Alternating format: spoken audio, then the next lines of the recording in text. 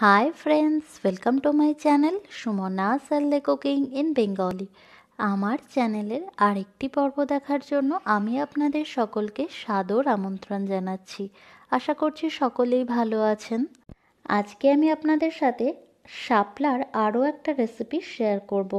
বাঙালির ট্র্যাডিশনাল এই শাপলা খেতে কিন্তু অসাধারণ হয়। আর খুব সামান্য কয়েকটা উপকরণই এটা তৈরি হয়ে যাবে। রেসিপিটা দেখুন। যদি ভালো লাগে তাহলে প্লিজ একটা লাইক করবেন, শেয়ার করবেন এবং আমাকে কমেন্টসে জানাবেন কেমন লাগল। আমি এর আগে যে শাপলা ছেচকির রেসিপিটা দিয়েছিলাম সেটার লিঙ্ক ডেসক্রিপশন বক্সে দিয়ে দেব, আপনারা একটু চেক করে নেবেন যদি প্রয়োজন হয়। এছাড়াও নিত্য নতুন নানা রকমের রান্না করতে হলে একটু হেলদিভাবে আমার চ্যানেলটাকে সাবস্ক্রাইব করে দেবেন। যারা অলরেডি সাবস্ক্রাইব করেছেন তাদের অসংখ্য ধন্যবাদ।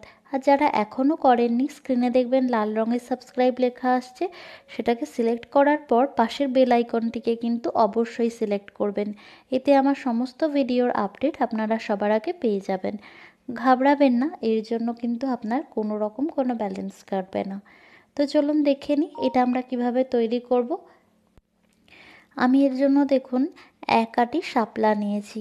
বাজারে এটা আপনারা খুব ইজিলি পেয়ে যাবেন এই সিজনে এবার এটাকে এইভাবে কেটে পরিষ্কার করে নিতে হবে।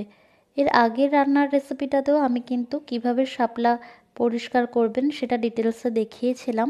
এটাতেও একটু দেখিয়ে দিচ্ছি। এইভাবে শাপলার গায়ের আস্তরণগুলোকে একটু ছাড়িয়ে নিতে হবে।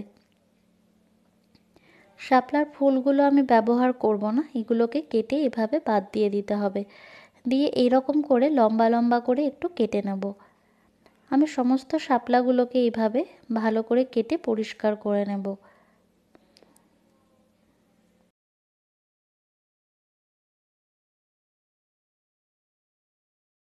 দেখুন, আমি সমস্ত শাপলাগুলোকে ভালো করে খোসা ছাড়িয়ে ধুয়ে পরিষ্কার করে নিয়েছি। এবারে গ্যাস অন করে কড়াইতে আমি সর্ষের তেল দেব। আমি এখানে ওয়ান টেবিল স্পুন সর্ষের তেল দিচ্ছি।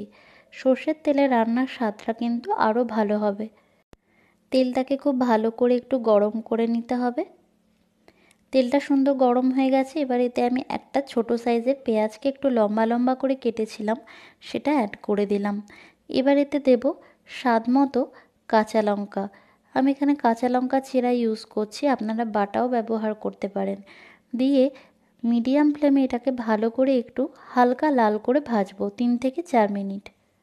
ননস্টিকের কড়াই, তাই জন্য কিন্তু গ্যাস বাড়িয়ে করবেন না, তাহলে একদমই তাড়াতাড়ি পুড়ে যাবে। দেখুন, পেঁয়াজটা হালকা লাল হয়ে গেছে স্টেজে অ্যাড করছি শাপলাগুলো। শাপলা রান্না করতে কিন্তু বেশি সময় লাগে না, খুব কম সময় এটা সেদ্ধ হয়ে যায়।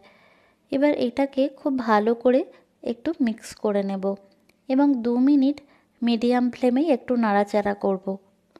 এতে দিয়ে দিলাম স্বাদ মতো নুন ওয়ান ফোর স্পুন হলুদ গুঁড়ো, চাইলে চিনিও অ্যাড করতে পারেন, চিনিটা অপশনাল এবার এটাকে আরেকটু ভালো করে মিক্স করে নিচ্ছি, দিয়ে একদম লো ফ্লেমে জাস্ট পাঁচ মিনিটের জন্য আমি এটাকে ঢাকা দেব। এতে কিন্তু কোনো রকম জল অ্যাড করবেন না, কারণ শাপলা থেকে অলরেডি অনেকটাই জল বেরোয়।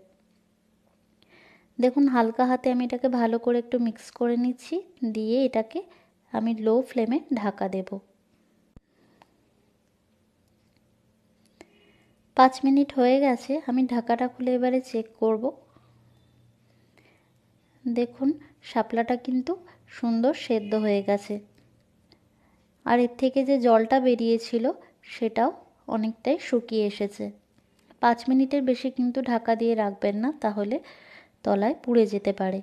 এবার এটাকে ভালো করে মিক্স করে নিচ্ছি। আপনারা চাইলে স্টেজে নুনটা একটু চেক করে নিতে পারেন। এটা প্রায় তৈরি হয়ে গেছে। এবারে জলটা যতক্ষণ না সমস্তটা শুকোচ্ছে, ততক্ষণ আমি এটাকে একটু নাড়াচাড়া করব। দেখুন, প্রায় তিন মিনিট এটাকে মিডিয়াম ফ্লেমে আমি একটু নাড়াচাড়া করেছি। এটা একদমই সুন্দর নরম হয়ে গেছে আর এটা তৈরি হয়ে গেছে। এবার গ্যাস বন্ধ করে আমি এটাকে নামিয়ে নেব।